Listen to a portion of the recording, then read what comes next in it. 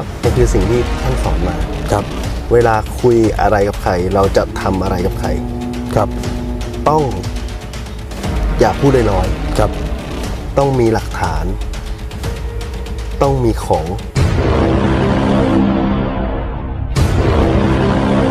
ขอฝากรายการเที่ยวรอบโลกกับโอ๊ก VP ด้วยนะครับรายการที่จะรีวิวสถานที่ท่องเที่ยวสวยๆทั้งในเมืองไทยแล้วก็ต่างประเทศนะครับ ดำเนินรายการโดยโอ๊ก VP นะครับ เพื่อนๆ สามารถเข้าไปกดติดตามและรับชมได้ที่ลิงก์ที่อยู่ใต้คลิปด้านล่างนี้ เดี๋ยวผมจะปักหมุดไว้ให้นะครับ ขอบพระคุณ FC ทุกท่านที่ช่วยกดติดตาม และช่วยแชร์รายการใหม่ของผม เที่ยวรอบโลกกับโอ๊ก VP ด้วยนะครับ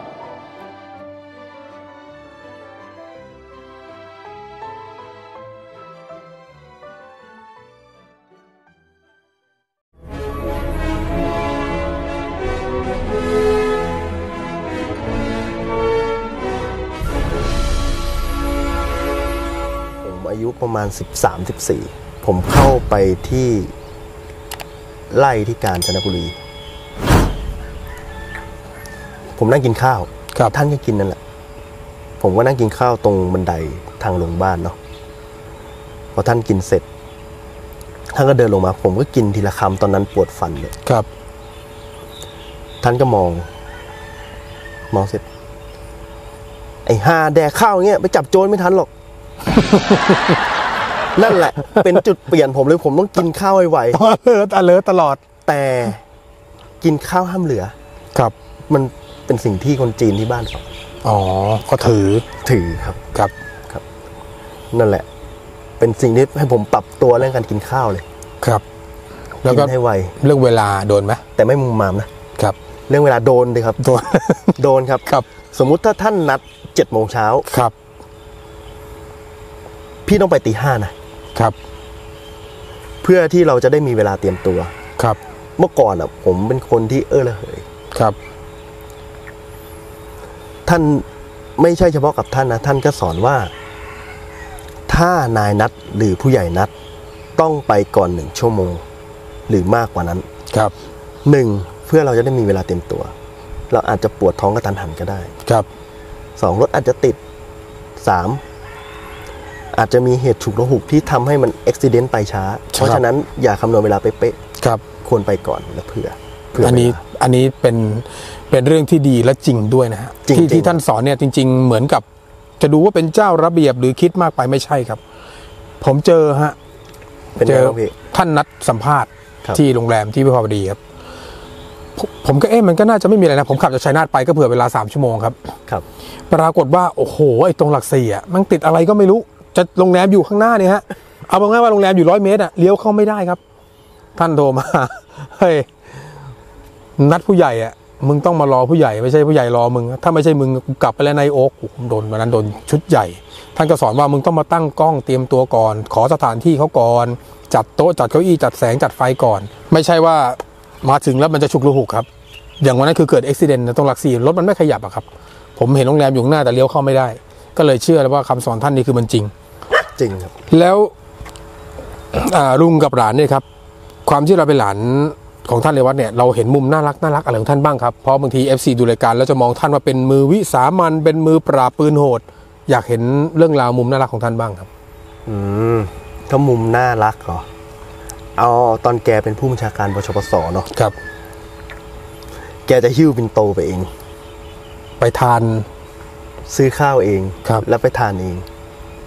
แล้วเป็นคนที่กินง่ายครับยำปลากระป๋อง อืมมุมน่ารักแกก็คือ เป็นคนที่กินอะไรง่าย ครับ ๆ ไม่ให้ลำบากใคร ครับ แล้วเป็นคนชอบยิ้ม หัวเราะ ครับ แต่ถ้ายิ้มกับคนดีก็ดีนะ ถ้ายิ้มแบบคนร้ายก็ยิ้มสยอง ก็ยิ้มสยองนะพี่ เพราะเนี่ยที่ท่านรัชพลเล่าผมก็มีมุมน่ารักของท่านนะครับ ท่านเลวัตเนี่ย ต้องต้องบอกท่านผู้ชม แล้วบอกท่านรัชพลเป็นที่นี้ที่แรกนะฮะท่านเป็นคนที่ไม่เอาของของใครจริง ๆ ผมเนี่ยบางทีจะมาหาท่านเนี่ยท่านครับ ผมอยู่ชัยนาทครับ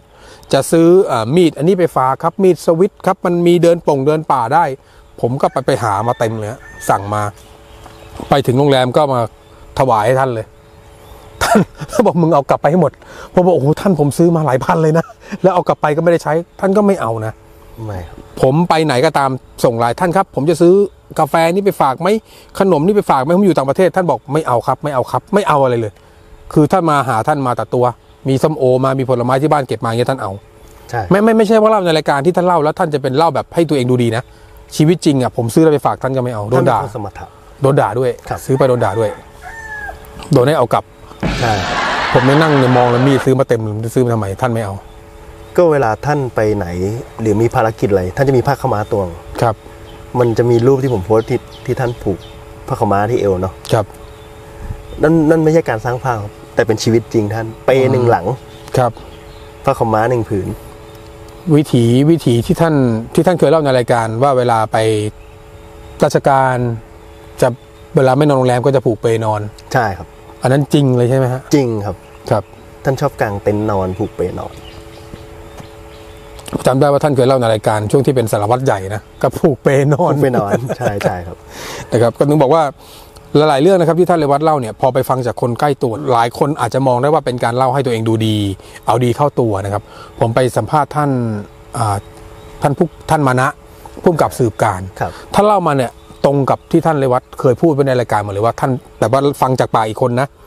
ท่านเรวัตเป็นคนอย่างนี้อย่างนี้อย่างนี้อย่างนี้คือตรงกันหมดนะว่าว่าไม่ไม่ไม่ใช่การสร้างภาพ แต่เป็นนิสัยจริงๆนะครับจริงจริงครับไม่ยิงดีกว่า จับเป็นเฮ้อโอ้โหใช่เพราะว่าเรื่องมันเกิดมาประมาณนานหลายปีมากครับแล้วมันเราก็เรื่องจริงเรื่องเรียงไงเหตุการณ์เป็นไงเราไม่รู้เลยฮะครับเราก็ไม่ไม่ตัดสินใจเลยว่าไม่แล้วแต่จะวิ่งครับ วิ่งลงจากภูเขามาเนี่ยนะครับ แต่ถ้าเขายึกยัก หรือจะวิ่งหยิบปืนเราก็จะยิงขู่ครับตั้งใจไว้อย่างนั้นเลยนะครับ ตั้งใจไว้อย่างนั้นเลยนะครับปืนพร้อมแล้วอะไรครับตัดสินใจนั่งมองวันนับหนึ่งสองสามวิ่งลงจากเขาอะครับ วิ่งมาถือปืนมาเลย วิ่งวิ่งลงมาปุ๊บโมงวิ่งวิ่งวิ่งวิ่งลงมาเลยตะลงตกใจจะลุกขึ้นครับ ผมก็ยิงเลยเป็นผมก็ยิง ยิงไม่ออกครับ โอ้โหมาอย่างเท่เลย อย่างเท่เลยชิบหายอันเนี้แล้ว ในเลเหมือนจะตบผมด้วยอะครับสอนไม่จำครับบอกไม่จำหาเกิดอะไรปืขึ้นน M16 เนี่ยแม็ก20เนี่ยเขาให้ใส่แค่ 18 19 นัด มันจะได้ยืดหยุ่นได้ ครับ แล้วมึงใส่เท่าไหร่20 เต็มเลยครับนาย กลัวจัดเนี่ยฮะกลัวจัดช่วงนั้นยังไม่เคยครับยังไม่เคยทำงานเอ่อวิสามันหรือยิงอะไรเลยฉะนั้นครับ ก็ก็ขึ้นไป วันนี้ท่านต้องขออนุญาตเล่าไปแค่นี้เพราะว่าเดี๋ยว ฟังหมดเดี๋ยวคนไม่ไปดูคลิปท่าน ท่านเลยเล่าแค่นี้พอนะครับ ถ้าอยากดูเรื่องราวทั้งหมดความน่ารัก หรือว่าเรื่องราวชีวิตส่วนตัวของท่านเรวัตเนี่ยช่องนี้ครับที่ขึ้นหน้าจอนี้ช่องพลตำรวจโทเรวัตกลิ่นเกษร Official นะครับแต่ตอนนี้มีอะไร FC โหวตให้ทำเสื้อทำอะไรมีรายละเอียดอะไรบ้างครับตอนนี้ที่ทำอยู่ตอนนี้ ตอนนี้อะครับครับ ก็มีเสื้อโปโลมีสามสี ครับ ขาวดำเหลือง แล้วก็มีเสื้อคลุมคอเรียบ ครับ มีหมวก แล้วก็มีสติกเกอร์ แล้วก็ล่าสุดล่าสุดก็เสื้อคลุมฮูดอ่าอันนั้นสวยนะ ที่ท่านเห็นหน้าจอนี้ครับ เดี๋ยวจะเป็นขึ้นเป็นภาพสไลด์ให้นะฮะ จุดเริ่มต้นของการทำเสื้อขุนดงเนี่ย เป็นไอเดียของใครครับ อืม ท่านเรวัตคือก่อนหน้านั้นวันพ่อครับผมทำเสื้อ แต่ไม่ใช่โลโก้นี้นะครับอันเนี้ยโลโก้ใหม่ โลโก้เก่าจะเป็นตาหนุมานครับ แต่เป็นเป็นโครงสร้างแบบนี้ ไปให้ท่านวันพ่อเนาะครับ ผมก็ไปกราบท่าน ท่านก็เลยเป้งไอเดียขึ้นมาได้ว่าเอ้ยโอ๊ตหนู FC เนี่ยเขาคอมเมนต์มาเขาอยากได้เสื้อ ครับ เราทำขาย FC ไหม แต่ต้องให้ FC จับต้องได้นะ เองอย่าไปขายแพง ครับ เพราะ FC บางคนหาเช้ากินค่ำ FC บางคนก็มีฐานะ FC บางคนก็แทบไม่มีแต่เขาอยากได้เขาก็ต้องเก็บเงิน ครับ แต่คุณภาพสินค้าต้องดีนะ ครับ ลองไปดูมาสิลูก มันได้ราคาเท่าไหร่ ผมก็เลยออกแบบตัวนี้มาให้ท่านลองใส่ดู ครับ ตามที่ท่านเป็นในแบบนะครับ ครับ เสื้อสีเหลือง ถ้าบอกเออโอเค ดีปักดีคุณภาพดี ขายเท่าไหร่ ผมบอกสามร้อยห้าสิบลุง เออ ไม่แพง ขายเลยลูกครับ เพราะมันสมเหตุสมผล ก็มี FC บางคนก็มาบอกทำไมไม่ขายตัวละห้าร้อยครับ มันได้นะห้าร้อยบอกไม่ได้ครับ อย่างที่ท่านเลวัตบอกไปนะครับ ที่ผมเล่าไปครับเมื่อสักครู่ท่านต้องการให้ FC ทุกเพศทุกวัย ทุกอาชีพจับต้องได้ ใช่ใช่ครับ ถูกครับ แต่ตัวสีตัวตัวสีเหลืองผมก็ได้สั่งซื้อมาตัวหนึ่งอะเป็นผ้าที่ดีดีจริง ๆ ครับ คือคือดูแล้วเป็นของที่เป็นเกรด เกรดดีจริงๆครับ งานต่างๆ แล้วก็เนื้อผ้าที่ใส่ เพราะถ้าถ้าเกิดว่าเสื้อตามรายการทั่วๆไปหรือว่าถ้าดังแล้วนะ เราไม่จำเป็นต้องเน้นคุณภาพมันก็ขายได้ใช่ถ้าคิดในมุมมองนะครับ ว่าถ้าเรวัดดังคุณภาพไม่ต้องดีหรอก ยังไงคนก็ซื้อ แต่อันเนี้ยคุณภาพดีด้วย ก็แล้วราคาไม่แพงอย่างเสื้อคลุมฮูดเนี่ยครับ ผมก็ให้ท่านลองใส่ ท่านใส่ไปเขาใหญ่ครับ ท่านบอก 12 องศาเอาอยู่ว่าเจ้าโอ๊ตครับ เราก็เลย เออ ถ้าผลิตของมันต้องผลิตให้เขาใช้ได้ ครับ ใช้ได้จริง ใช้ได้จริง แล้วก็ราคาต้องไม่แพงครับ ครับ เสื้อคลุมฮูดนี่ตัวเท่าไหร่ครับ ตัวละ900ครับ โอ้โห ถูกมากเลยนะผมผมผมเห็นจากรูปทรงนั้นนึกว่าประมาณพันห้านะ ผมผมมีมาให้พี่ด้วย ขอบพระคุณมากนะครับ แล้วมีนอกจากเสื้อคลุมฮูดมีอะไรอีกครับ เสื้อคลุมฮูดเหรอครับ ตอนนี้ก็ยังก็รอ FC บางคนก็มา ไม่ทำพวงกุญแจเหรอ ครับ ไม่ทำแก้วน้ำเหรอ ครับ เดี๋ยวค่อยๆเป็นค่อยไป เพราะว่าหนึ่งที่ช้าด้วยเนี่ย ผมทำเองแพ็คเองส่งเอง ผมไม่มีทีมงานนะครับครับ แล้วบางทีผมติดภารกิจ ผมก็กราบขอโทษ FC ด้วยเนาะบางทีมันติดภารกิจยาวครับผมก็เลยไม่ได้แพ็คของ แล้วแล้วที่ FC เอ่อที่ที่เห็นท่านชอบอธิบายในชุมชน YouTube นะครับว่า สั่งของอ่าช้าหน่อยนะ รอหน่อยนะอ่ามันมาจาก ต่างประเทศอะไรอย่างนี้ยครับมันเกิดอะไรขึ้นครับทำไมต้องไปโพสต์ตรงนั้นเอ่อมีบางท่านไม่เข้าใจครับ ซึ่งบางทีเราเราโพสต์ไปเนี่ย เราประกาศไปเนี่ยนะเขาเขาก็บางทีเขาอยากได้ของครับ คือ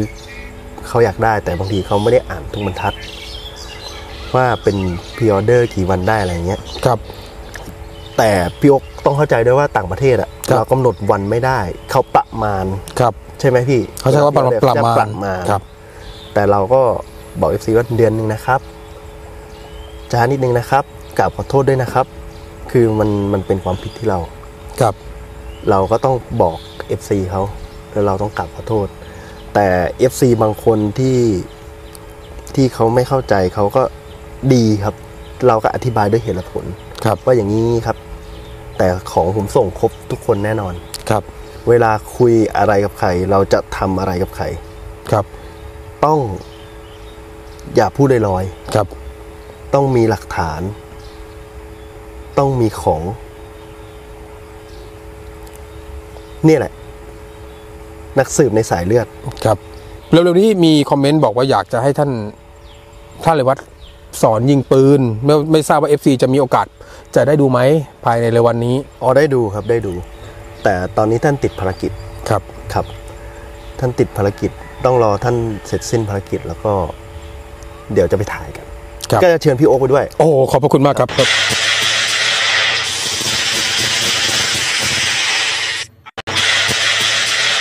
ท่านสอนยิงปืนท่านสอนดุไหมไม่ดุครับใจดีโหแต่ผมเห็นคลิปคลิปที่ท่านท่านยิงในช่องของท่านราชพลนะฮะครับโอ้ลูกซองท่านมือเดียวปุ้งปุ้งปุ้งอันนั้นลูกซองท่านออกแบบเองนะครับ ดัดแปลงด้วยใช่ไหมเอ่อ ท่านเป็นคนออกแบบแล้วสั่งผลิตขายในราคาโครงการที่ อ๋อแต่แบบแบบนั้นนะคือท่าน ใช่ อ๋อ เป็นแบบที่ท่านออกแบบเลยไม่ได้ตัดปัดไม่ได้ปรับแต่งครับครับ ออกแบบให้โรงงานผลิตมาตามตามสเปคนั้นเลตามยสเปคนั้นเลยอ๋อแล้วมาโอ้โหขายในราคาถูกเพื่อให้ตำรวจ หรือข้าราชการจับต้องได้อ๋อออยู่ในโครงการข้าราชการครับ สุดท้ายนี้นะครับก็เอ่อ ได้ฟังเรื่องราวนะครับจากหลานของท่านเลวัตโดยตรงเลยนะครับ ท่านพันตำรวจตรีรัชพลกลิ่นเกษรแล้วก็ช่องพลตำรวจโทเรวัตกลิ่นเกษรออฟฟิเชียลก็เป็นช่องที่ท่านโอ๊ตนะครับทำเป็นไลฟ์สไตล์ชีวิตลุง เพื่อนๆที่ยังไม่ไม่ทราบนะครับ ก็เข้าไปช่องนี้ที่ขึ้นหน้าจอนี้ครับ แล้วผมจะวางลิงก์ไว้ให้ด้านล่างกดติดตาม ส่วนเรื่องเสื้อคลุมเสื้อหมวก หรือว่าแบรนด์ต่างๆ ที่เป็นของขุนดงก็ add ไลน์ นะครับที่อยู่ใต้ใต้ลิงก์นี้ หรือว่าทักเข้าไปที่ช่องของท่านก็ได้นะครับก็จะมีลิงก์ไลน์ให้สั่งเป็นสั่งอ่าอัตโนมัติผ่านไลน์ใช่ไหมฮะเป็น LINE Shop ครับครับแล้วก็ต้องทำความเข้าใจนิดนึงนะครับสำหรับอ่าเพื่อนๆที่อยากได้เร็วๆ มันก็เป็นของที่สั่งมาจากเมืองนอก ก็ใช้เวลาในการรอนิดนึงนะครับ แต่ได้มารับรองว่าคุ้มคุณภาพดีถูกใจแน่นอนนะครับ เพื่อนๆครับก็ฝากรายการเที่ยวรอบโลกกับ o อ VP ด้วยนะครับ ผมก็จะไปรีวิวสถานที่ที่เป็นแลนด์มาร์คของประเทศต่างๆ เท่าที่ผมพอจะมีกำลังไปได้นะครับ แล้วก็รายการอีกรายการหนึ่งชื่อรายการ The Oak นะครับที่ขึ้นอยู่หน้าจอนี้นะครับ เดี๋ยวผมจะวางลิงก์ไว้ให้ด้านล่างหมดเลยรายการเดอะโอ๊ก็จะเป็นเล่าตำนานคดีดังในอดีตนะครับ ตอนนี้ผมก็ลงคดีของคุณแดงโคกปีบไป ก็จะมีคดีดังคดีท่านแคล้วธนิกุลนะครับ คดีเก้ามาเก่งแดงไบเล่ก็จะเป็นเรื่องราวต่างๆในอดีต ผมก็จะเล่าให้ฟังแล้วก็จะหาภาพข่าวประกอบให้นะครับ ช่องเดอะโอ๊ก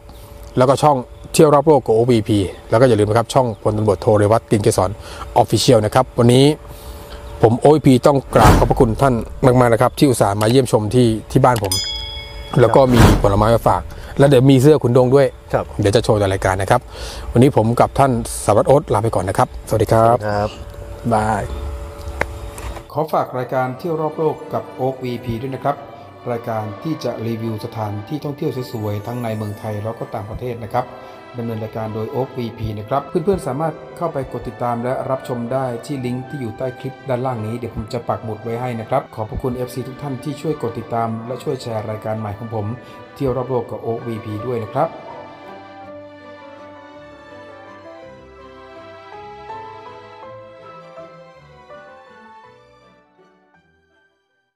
สวัสดีครับ หากท่านใดสนใจเป็นสปอนเซอร์ สนับสนุนรายการ OVP ไม่ว่าจะเป็นอาหารเครื่องดื่มสินค้าแบรนด์ต่างๆ ได้หมดเลยทุกชนิดนะครับ ยกเว้นเว็บพนันไม่รับนะครับ ท่านสามารถเอาสินค้ามาวางโปรโมทในรายการผมได้เลยนะครับ ติดต่อทาง ID ไลน์นี้ได้เลย ขอบพระคุณทุกท่านที่ช่วยสนับสนุนรายการ OVP นะครับ